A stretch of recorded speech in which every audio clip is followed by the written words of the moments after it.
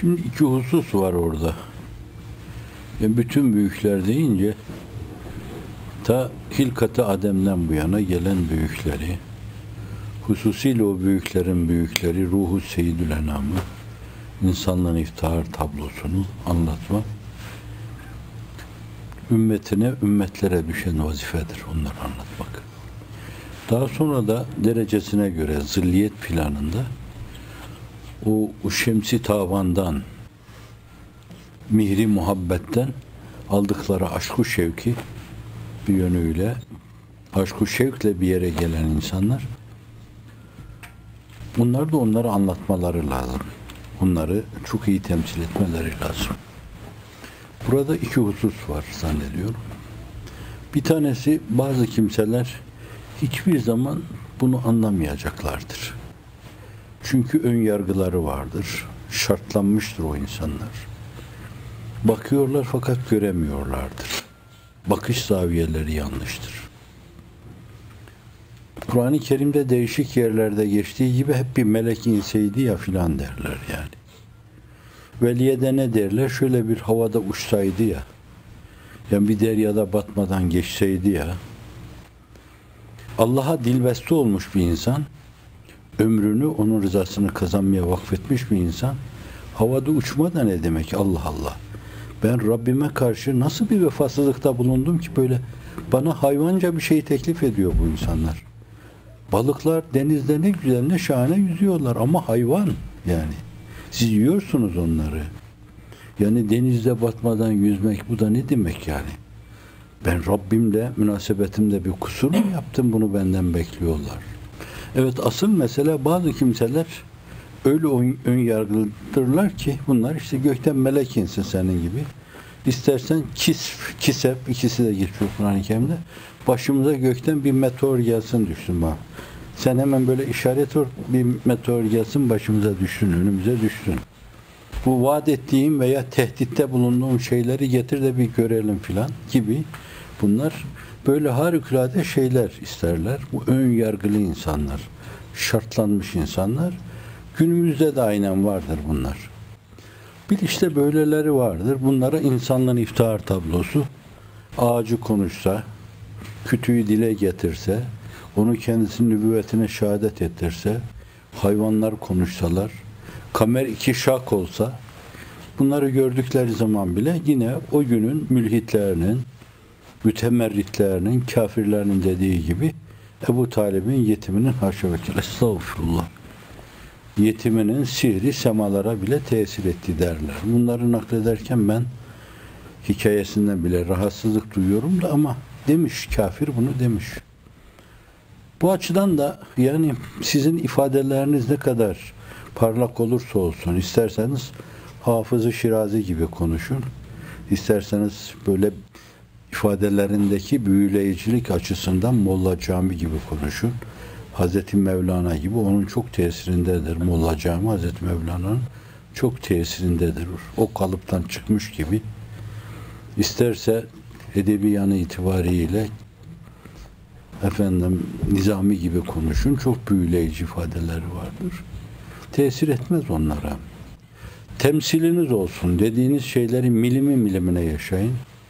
Kalbinizi defaatla dinlesinler. Onca vefayı, onca sadakati, onca samimiyeti gördükleri halde temerrütten vazgeçmeyen insanlar var.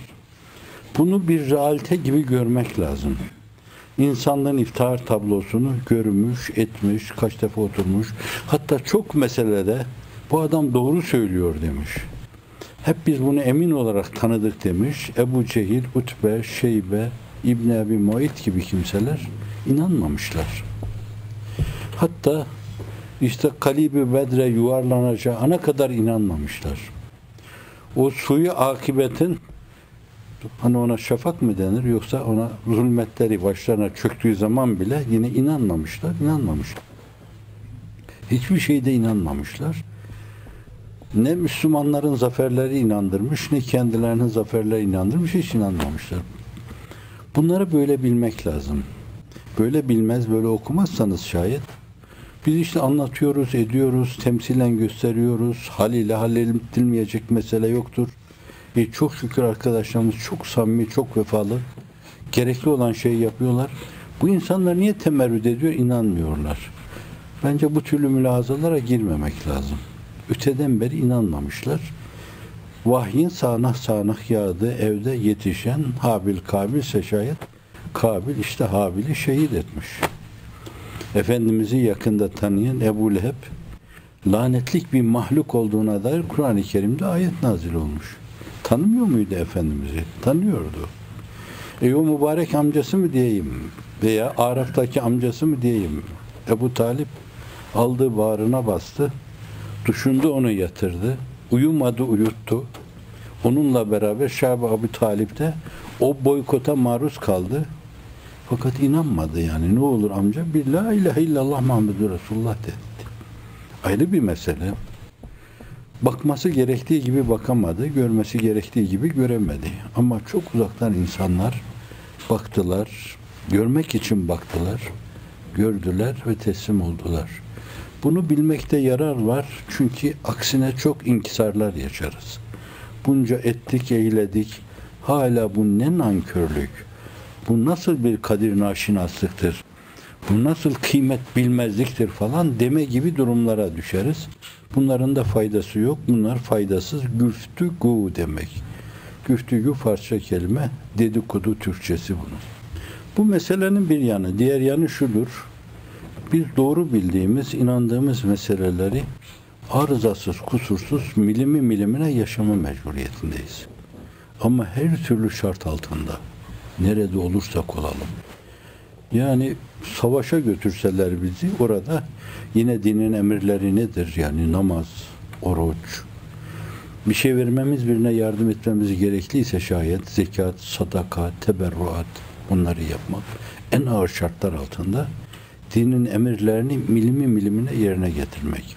Hususiyle günümüzde diyalog, efendim hoşgörü, konuma saygı, insanları insan olmaları itibariyle bir yere koyma onlar Cenab-ı Hakk'ın bir sanat eseri olması itibariyle saygı duyma mevzu. Böyle bu türlü şeylerin muhaveresi, müzakeresi üzerine her şeyin bina edildiği dönemde ben birileriyle oturmuş konuşuyoruz. Bunlar Musevi de olabilir, Yahudi de olabilir, Hristiyan da olabilir, onların değişik mezheplerinden de olabilir. Namaz kılmayan sizden bazı kimseler de olabilir, oruç tutmayan bazı kimseler de olabilir. Dinimizi yaşama mevzuunda fevkalade hassasiyetle, nezakette kusur etmeden bizim namaz vaktimiz öğlen, namaz kılacağız şimdi. Müsaadenizle. Hiçbir şey buna mani olamaz yani. Namaz kılacağız. En ağır şartlar altında bile, yatakta bile olsak ayaklarımızı bir taraf uzatır, başımızla imayla namaz kılarız. Bu bizim olmazsa olmazımız bizim. Lazımı gayri mufarikimiz. Onsuzluğu sukut sayarız biz. Çok rahat yani bunu demeli. Tekellüfe girmemeli. Evet onlara da bunu anlatmalı. Ahlaki aliyeyi İslamiye açısından, muamelat açısından kılı kırk yararcasına hal insanları olarak öyle bir hal sergilemeli ki orada çok değişik vesilelerle hep ifade edildiği gibi halla halledilmedik hiçbir problem, hiçbir mesele yoktur. Bu da meselenin bir yanı. Bir diğer yanı şudur. Yaptığınız bu güzelliklerde süreklilik o meselenin müessiriyeti adına, adına çok önemlidir. Kılı kırk yararcasına münkerattan uzak durma. Dinin senin memnu bir şeye bakmayı yasak etmişse, memnu şeyi konuşmayı yasak etmişse, memnu şeye kulak kabartmayı yasak etmişse, memnu şeye el uzatmayı yasak etmişse, memnu şeye adım atmayı yasak etmişse, bu mevzuda kılı kırk yararcasına. Bu benim dinimin emri yani demek.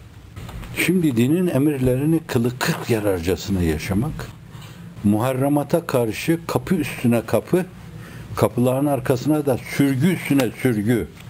Ey masiyet, ey günah, ey Allah'ın yasak ettiği şeylerin üzerime gelmesi. Beyhude yorulma, kapılar sürmelidir. Allah canımı alsın en küçüğüne tenezzül edersem diyecek kadar vefalı olma mevzuda. İffetin en küçüğünde bile taviz vereceksem Allah bir dakika yaşatmasın canımı alsın diyecek kadar vefalı olma. Bu çok önemlidir. Bunda temadi de çok önemlidir. Allah Allah din taatlarına çok hassaslar bu insanlar.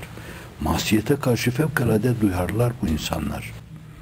Sütre üstüne sütre, sütre üstüne sütre, sütre üstüne sütre. Panjurları kapatıyorlar. Menhiyatla münasebetlerini bütün bütün kesiyorlar. Bir kere değil, iki kere değil, bir sene değil, iki sene değil, üç sene değil. Arkadaşlarınıza dedikleri gibi 15 senedir biz bu insanları takip ediyoruz. Nabızlarını tuttuk. Kalplerinin ritminde bozulmaya rastlamadık diyorlar. O zaman inandırıcı olursunuz. Yoksa bir gün öyle, bir gün böyle Kur'an-ı Kerim'de ifade buyurulduğu gibi Nisa Sure-i Cellesi'nde müzebzebine beyne zalik la ilaha ulay ve la ilaha ulay merhum Necip Fazıl rahmetullahi aleyhi rahmeten vasiyeten ifade ederken derdi ki bunu bu ayeti münafıkların, iki yüzlü insanların bir orada bir burada olan insanların zıp burada zıp burada. Müzebzep kelimesi Türkçe'de böyle tercüme ediyordu Hazreti. Zıp burada zıp burada. Nerede durdu belli değil.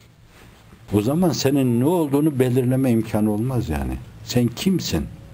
Neyi temsil ediyorsun? Efendim fuhşiyata bohemce dalıyorsan sen, haram helal, helal bilmiyorsan, göz haram üzerindeyse, kulak haram üzerindeyse, ağız sürekli haram üretiyorsa, el harama uzanıyorsa, e, beri taraftan ibadet taatından da aksaklıklar yapıyorsan sen, e, sizi nereye koyacağız ki yani? Biz siz, sizin arkanızdan gelelim. Değişik vesilelerle farz etmeye çalıştığım gibi Efendimiz sallallahu aleyhi ve sellem'in tebliğ çok önemli. O bir semavi mesaj. Bu evvela onun gökler ötesi alemlerle münasebetinin ünvanı. Sonra o alemlerle bizim münasebetimizi sağlayan nurani bir haytı vuslat. O mesaj çok önemli. O başımızın tacı ve her zaman başımızın tacı olarak kalacaktır inşallah. Fakat onu almanın yanı başında, ağırlığının yanı başında, o mesajı sunmanın yanı başında ondan daha ağır bir şey vardır ki onu hakkıyla temsil etme. Aksatmadan temsil etme. Haliyle onu ortaya koyma. Bu öbüründen daha zordur. Ve işte o zoru başarmış olan insanların iftihar tablosu gönüllere taht kurmuş. Yarım yamalak Müslümanlığı bugün yaşasak bile bunu bile ona borçluyuz. Bu o enil merkez hareketin bir devamıdır. Yani o merkezden böyle fışkıran tıpkı denizlerin dibinden fışkırıp gelen o büyük telatüm dalgalar gibi, emvaç gibi fışkırıp gelen dalgaların tesiridir. Bugüne kadar uzanmış. Biz de bu çağlayan içinde, o dalgalar içinde böyle yüzüp gidiyoruz. Temsil ve hal meselesi. Onu saf evveli teşkil eden insanlar anlattıkları kanaatini taşıyorum ben o zatı. Neden? Çünkü bütün mevcutları 5-10 tane insan. Bunlar çok ciddi çalışmışlar. İsim tasrih etmede mahsur görmüyorum ben. Yedi cihan duysun. 56'lı mı 57'li mi senelerde Muzaffer Arslan rahmetullahi aleyh rahmeten vasiyeten dizlerinin dışarıya Üstad Necip Fazıl'ın ifadesiyle soba borusu çıkmış gibi bir pantolonla Erzurum'a gelmişti. Ben de babamdan menkul ashab-ı kiramın hayatını okuyarak bir ashab-ı kiram hayranlığı vardı çocukluğumdan bu yana. Kendi koyunlarımızı çobana teslim edeceğimiz ana kadar güderdim. Onların arkasında bile o Osmanlıca metinleri babamdan öğrendim. Ama 10, 11, 12 yaşında okurdum. Babamın anlatmasıyla benim okumamla ciddi bir asap hayranlığı olmuştu bende. Fakat biraz uzak yani. Acaba olur mu bir daha? mülahazalarım vardı. O gün Ütopya Mütopya bilmezdim. Ne Campanella'yı tanıdım ne Thomas More'u tanıdım ben. Ama bana manası itibariyle isimsiz müsemma Ütopya gibi geliyordu. O zatı görünce öyle orada o kadar samimi, o kadar içten. Hazreti Piri Mugan Şemitaban bir hizmet için Erzurum'a göndermiş. 3-5 tane de insan orada var. Bir terzi dükkanda toplanıyorlar. Öyle pencereyi mencereyi açık tut, tutmadan da orada ders yapılamıyor yani. Kaçmaya her an hazır. Baskınlar ol, oluyor. onu gördüğüm zaman, o samimiyeti gördüğüm zaman ben dedim kitapların satırları arasında aradığım şeyler meğer bu insanlardaymış. İtirazım hiç olmadı benim. Oysa ki biraz inatçıyımdır yani. Fakat hiç itirazım olmadı Allah şahit. 40. Hoca Allah afiyet daimi ihsan eylesin. O götürdüydü bizi. O ben, bizden 5-10 yaş büyüktür. Hep dua ederim ona. Ama bana o zatın tesiri, Hazreti Pir'in yanından gelen zatın tesiri çok büyük olmuştu. Daha sonra başkalarını da gördüğümde o inancım iyice kuvvet kazandı. Çok samimi, çok vefalı, çok sadık insanlarmış. O gün onun anlattığı şeylerden birisi şuydu. Isparta kahramanı diyor Hazreti Üstad ona. Hussev Efendi rahmetullahi aleyh rahmeten vasiyet. Yazıyla o gün. Herkes yazıyla yazıyor malum. Hayatının son eseri de Kur'an-ı Kerim'de o. Tevafuklu Kur'an Hussev Efendi. Diyor el alem geliyor, meşgul ediyor. Üstadın önemli bir talebesi. Onun için diyor ben evimin bir odasında diyor duvarla örün onu. Bana yemeğimi verirken işte kapının altından verin. Örün diyor yani ben orada kalayım. Banyosu olan, ihtiyaç yeri olan, abdest alacağım bir yer olsun ben orada. Ben orada sürekli 20 saat yazı yazayım diyor. 15 sene böyle kaldığını söyledi. 15 sene. Orada yazı yazıyor. Rule haline getiriyor onu. O banyonun su savan oluğu içine sokuyor. O işte Allah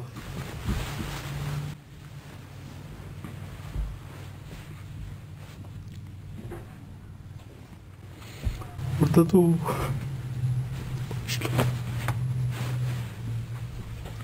o animasyonda gösterildiği gibi geliyor. Çeşmenin deliğine elini sokuyor. Bir deliğe elini sokuyor. Onlar orada o haberleşme adına kullanılıyorlar. Kağıdı alıyor, başka bir yere götürüyor. Siz de tekstil edin dağıtın, siz de tekstil edin dağıtın. Bu kadar ağır şartlar altında hafiyelerin takip etmesine rağmen hiç durmadan o temsilde fevkalade bir tavır sergiliyorlar. Yılma, usanma bilmeden. Düşünün o zatlar 25'te tanımışlar. Kendisi 80'li yıllara doğru irtihal etti. 70 sonrası. Son yaptığı şey de işte o tevafuklu Kur'an'ıydı. Kanserdi. Senelerce kanserin ağır pençeleri altında, darbeler altında yaşadı. Fakat hep onu yapıyordu. En son tasihini yapıp son yapıştırdığı şey yapıştırdıktan sonra da ruhunun ufkuna giriyor. Evet. Neden bunları dedim? Saffı evveli teşkil eden o bir avuç sadık insan Allah'ın sadık kulunun sadık dostlarıydı. Bu da zaten sadakati tavsiye ediyor. Bana fevkalade makam verme yerine fevkalade sadakat. Fevkalade sadakat. Şöyle büyük böyle büyük bunlara gerek yok yani. O kendisine sen kendini o recülü facir bilmelisin diyor. Günahkar insan bilmelisin. Müzekka olmadığından. Masar değil memersin diyor başka bir yerde.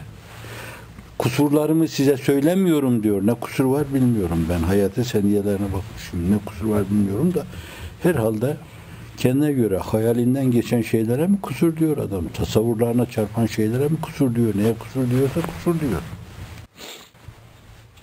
O ilkler fevkalade sadakatin, fevkalade vefanın, fevkalade feragatın kahramanları olarak işin doğrusu hakikaten iyi bir temsil sergilemişlerdir. iyi bir hal sergilemişlerdir. Ama sonra böyle geniş imkanlarla ben hiç talebesi olamadım. Olduğumu söyleyemem. Hayranlık duydum sadece. Talebelik o değildir. Onun hayatının gayesi olan şeyleri hayata gaye yapmadır. Onun uğrunda ölüp dirildiği o şeyler uğrunda ölüp dirilmektir. 50 bin türlü preslerde preslenme, paletler altında ezilme, çile çekme, ızdırap çekme ve dönmeden hep orada bir abide gibi dimdik durabilme meselesidir. Talebelik budur. Olanlar olmuştur. Bugün de olan bir sürü insan vardır. İnşallah emsalini sizin arkadaşlarınız o dünyanın dört bir yanına açılanlar, hicret edenler inşallah sadık talebelerdir. Dilerim ben öyle olsun. Evet, şimdi onlar anlatmışlardı ama biz anlatamadık onu yani. Bu biraz ufka bağlı bir şeydi, bilgiye bağlı bir şeydi yani. Evvela o ölçüde donanımımız yoktu bizim. Yani onları çok iyi bilemiyorduk. Muhakeme yapacak kadar, meselelere mukayeseli bakacak kadar. İçinde çok sosyal meseleler var, çok psikolojik meseleler var, psikososyolojik meseleler var. Tarihi gerçekler var içinde. Akaidi Hakkayı İslamiye'ye dair meseleler var. Usulü dine ait meseleler var. Usulü hadisle alakalı kendisine ait disiplinler var. Usulü tefsire ait kendisine ait disiplinler var. Siz biliyorsunuz akademisyen bir arkadaşımıza benim de 40-50 senelik arkadaşım dedim defaatla değişik konularla alakalı bu konulardan her birini bir ilahiyatçıya verseniz de doktora yapsalar bu mevzuda. Başkaları yaptı bunu yani. Fas'ta yapanlar oldu, Mısır'da yapanlar oldu ama bizim insanımızda hususiyle ilahiyatçılarımızda bir tavır oldu, bir zihin tembelliği oldu. Hayır dediler adeta. Biz o seviyede ciddi bir donanımla anlattığımız kimselere inandıracak ölçüde bir donanımla anlatamadık. Çünkü o seviyede değildik. O ölçüde de inanmamıştık. Dolayısıyla temsil edemedik. Ama zannediyorum gelecekte ister sosyal demokrat zeminde neşet etmiş olsun, ister Marksist düşüncenin hakim olduğu bir ortamda neşet etmiş olsun. Bir dönemde iç içe boşlukların yaşandığında insanlardan çoğu tarafa aktı, bu tarafa aktı, bu tarafa aktı. O bacımız işte öyle bir zeminde neşet etmiş. O Allah'ın dostu, Allah'ın sadık kulu seyrettikten sonra ihtimal biraz risalelerde bakmış olduğu görülüyor. Hakikaten ben de hıçkırıklarımı tutamadım, hıçkıra hıçkıra ağladım.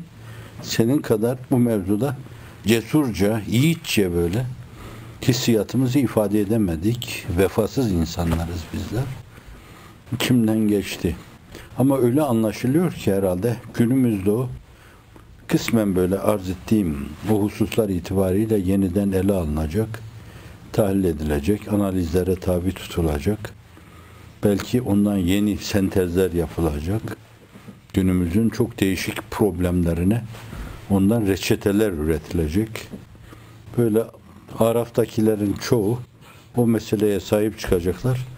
Belki bizim de sahip çıkmamıza onlar vesile olacak.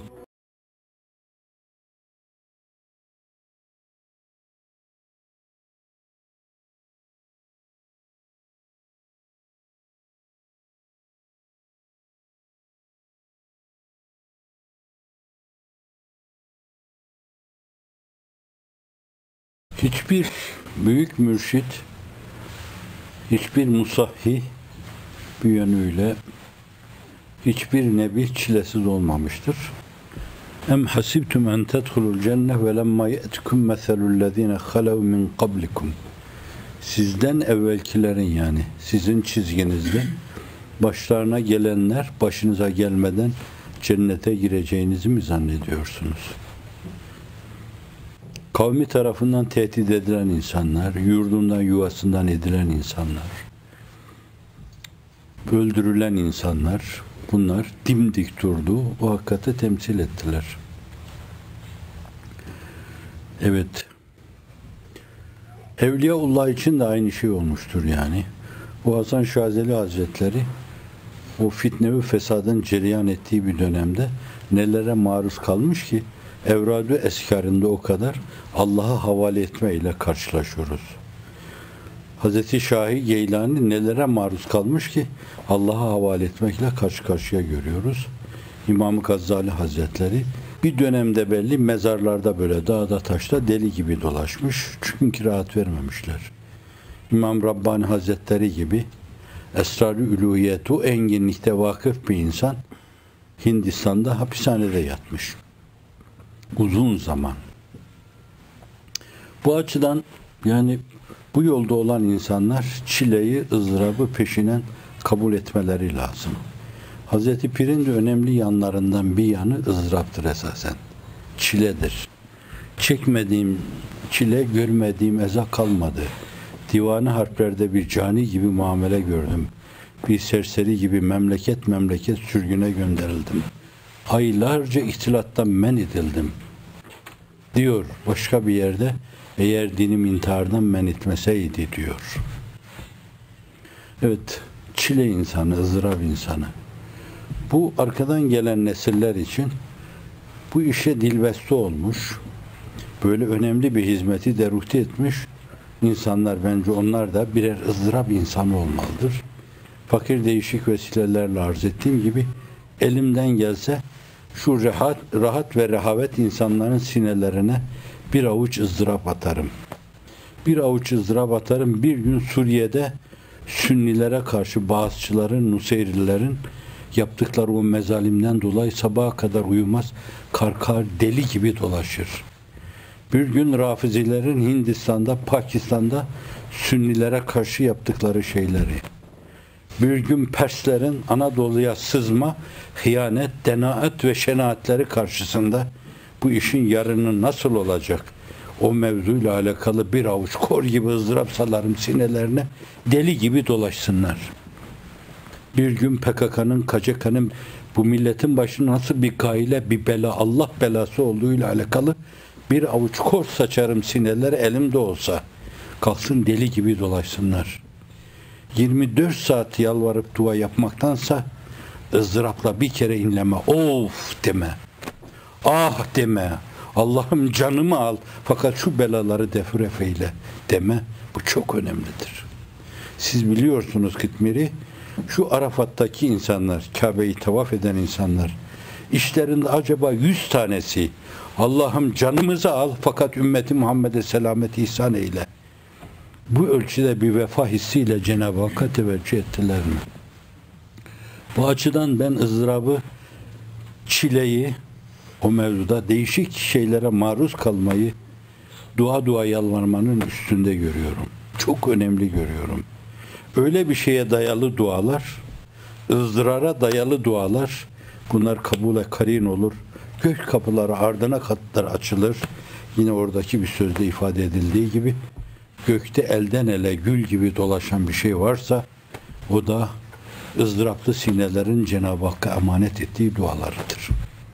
ızdıraplı sinelerin Cenab-ı Hakk'a havale ettiği dualarıdır. Bu açıdan o zatın mümeyyiz vasıflarından bir tanesi de ızdıraptır, çiledir. Bunu kendi de ifade ediyor. Ha bu bir mesele. Bir diğer mesele şudur. Allah'ım bize de ızdırap ver falan demeyelim, istemeyelim. Bakmayın ben milletin için ızdırap salayım falan diyorum da rahattan, rehavetten çok rahatsızlık duyuyorum ben. Her gün böyle işte upuzun o döşeklerde, o yumuşak yorganlar üzerine çekerek, o cismaniyeti yaşama, birini de yeterli bulmama başkalarının, haramlara gözünü dikme, başkalar üzerinde gözün olması, bütün bunlara karşı rahatın, rehavetin, cismaniyetin, hayvaniyetin derinliğine karşı onları harekete geçirmek için Allah kalplerine biraz duygu, biraz hassasiyet, duyarlılık ihsan etsin. Biraz da ümmeti Muhammed için ağlasınlar. Nebiler gibi ağlasınlar. Veliler gibi ağlasınlar. Safiler gibi ağlasınlar. Vesselam. Evet ona ızdırap insanı, çile insanı, kendi için yaşamayan insan, milletinin imanını selamette görürsem e, cehennemin alevler içinde yanmaya razıyım diyen insan. Evet, değişik bölümlerin her birine bu türden başlıklar konabilir. Ama daha cazibini o işi yapan arkadaşlar belirleyebilirler. Vesselam.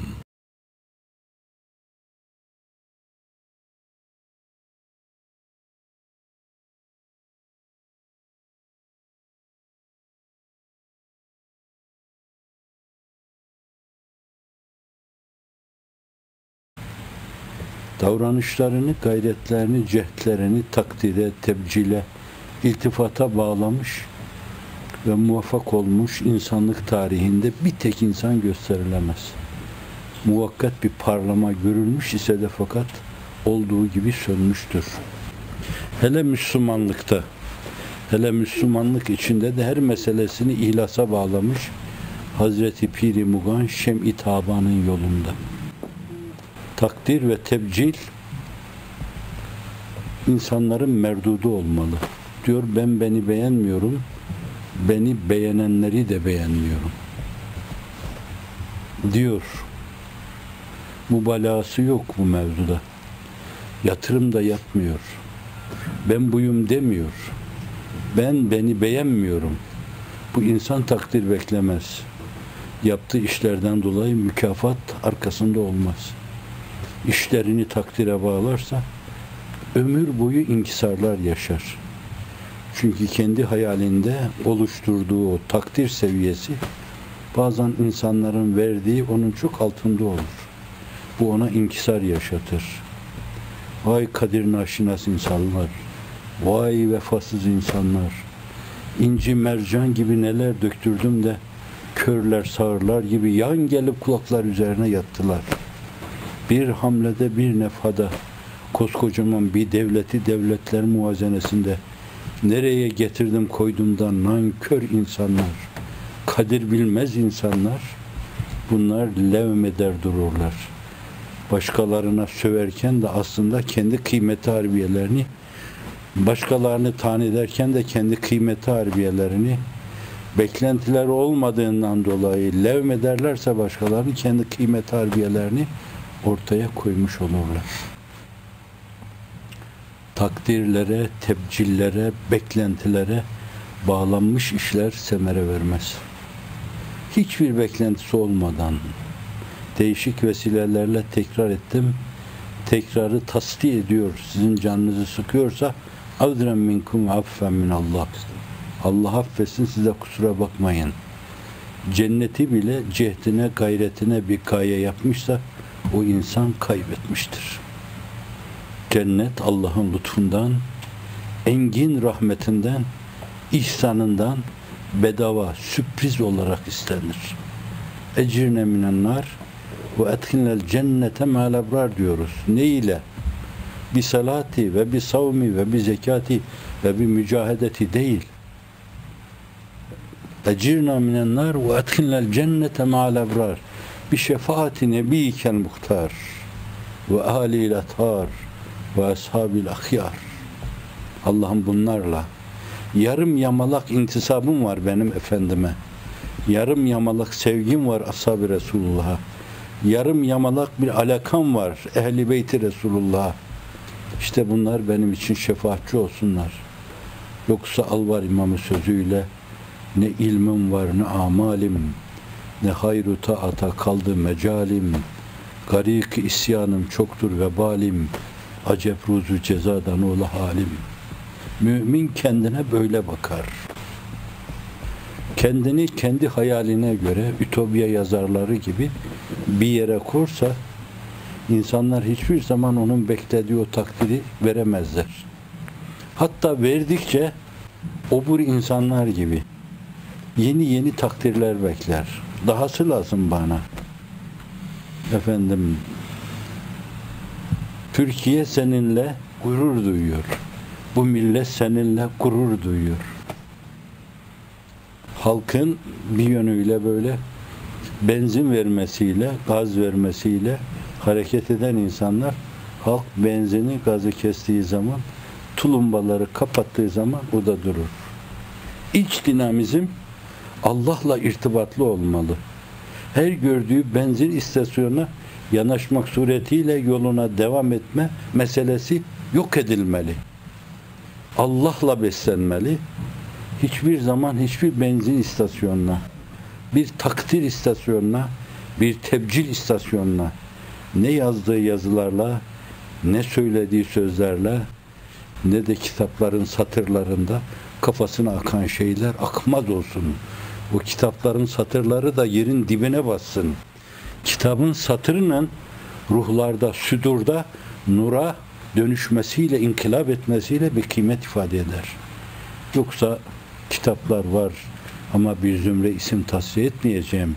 Kitaplara rağmen kitapsızlık içinde yaşıyor. Bizim de kitabımız var. Allah'tan gelen bir kitap. Fakat o kadar zaman kitapsız yaşadıkça farkında değiliz onun. Değil onun muhtevasını bilmek. İlahi bir mesaj olduğu enginliğiyle onu duymak. Biz onun okumasından bile çok defa mahrum edildik. yitirdiğimiz cennetle beraber o cennetin aksesuarı sayılan her şeyi kaybettik. Kitap olmuş ne olur? Rafta olmuş. Veya siz onu okumuşsunuz ne olur öyle? Asıl mesele onun ruhlara sinerek, kalplerde yerini bularak orada bir heyecana, bir gayrete, bir cehde, bir marifet tutkusuna, düşüncesine, bir hakikat aşkına inkılap etmesi meselesidir. Ve bütün bunlar yapılırken de Hz. Pir'in daha birinci sözde bizim gibi müptedilere, aklı çok fazla şey ermeyenlere dediği gibi Allah için işleyiniz, Allah için görüşünüz, Allah için konuşunuz, lillah li ve çillah li ecillah rızası dairesinde hareket ediniz. O zaman ömrünüzün saniyeleri seneler hükmüne geçer. Saniyeyi sene yapmanın yolu değişik benzin istasyonlarından takviye almaya bağlı değildir. Allah'la kavi irtibata bağlıdır. Sürekli onun tarafından beslenmeye bağlıdır. Mevaride açık durmaya bağlıdır. Tecelliyata açık durmaya bağlıdır. Aynı zamanda donanımı bu olan insan hiç yorulmadan sürekli üvekler gibi gerer kanatlarını daha yukarılara, daha yukarılara, daha yukarılara. Kendi arşı kemalatına çıktığı zaman artık ötesi yok onun başı kendi semasının kubbesine değiyor. Senin için yükselmenin yolu yok. Orada bile Allah'ın bize fevkaladeden istidatlar bahşeyle. İstidatlarımıza da daha üstünde, daha üstünde, daha üstünde inkişaflar ver. Ben oraları da ihsar etmeye çalışayım. Kendi arşı kemalatımı bile, donanımımın benim belirlediği o arşı kemalatı bile aşayım. Öyle bir marifete ulaşayım ki alem gördüğü zaman bana kendi kıstasları, kriterler içinde galiba bu adam aklını yemiş desinler. Mümine imanından dolayı deli dememişlerse o imanda kemale ermiş sayılmaz. Ha deli görünüm demek değildir bu. Öyle şeyler yapacaksınız ki alem dünya için koşuyor. Ölesiye koşacaksın. O koşmayı dünyaya sarf etsen Karun kadar servete sahip olursun. Fakat elinin tersiyle itiyorsun. İnsanlığın iftihar tablosunun dünyayı ittiği gibi. Hz. Ebu Bekir'in cana can bir bardak soğuk suyu ittiği gibi onu bile istemem ben dediği gibi elinin tersiyle iteceksin. Allah Allah galiba aklını peynirle yemiş diyecekler. Alemin kıstaslarından farklı hareket ettiğin zaman o tavır sana öyle delirtecek. Onun için Hasan Basri radıyallahu anh rahimahullah rahmeten kesireten vafiyeten kamileten daimeten ebediyeten eğer siz Eshab-ı Resulullah'ı görseydiniz onlara deli derdiniz. Onlar da sizi görseydi imansız derlerdi. Bu son husus bizi titretmeli, durumumuzu bir daha gözden geçirmeliyiz. Ve ilk hususa imrenme içinde olmalıyız. Keşke ashab-ı kiram gibi olsak. Ne olur tavır ve davranışlarımızla Allah bizi onların içine alsa, Burada da kendimizi onların içinde bulsak. O alsa biz de bulsak. Taklire lanet, tebcile lanet, beklentiye lanet, lanet, bütün bunlara lanet. Bizim beklentimiz Allah'ın bizden hoşnut olması. Radiyallahu anhum ve radu an. Allah onlardan razı oldu, hoşnut oldu. Onlar da Allah'tan razı oldular. İşte payeyi kusva. Selahattin Münciye'yi okurken aksel gayet diyor. Gayelerin, maksatların, mefkurelerin en zirvesi. Alel gayet, encebel gayet, eftalel gayet, asvebel gayet, gayet, gayet. En son. Münteha Allah'ım. Münteha. Biz sınırlı bir yere kadar, sınırlı insanlarız ancak bir yere kadar gidebiliriz. Fakat ne olur evliyanın, asfiyanın, ebranın, mukarrebinin teyran ettiği yerlerde bize de uçma lütfeyle.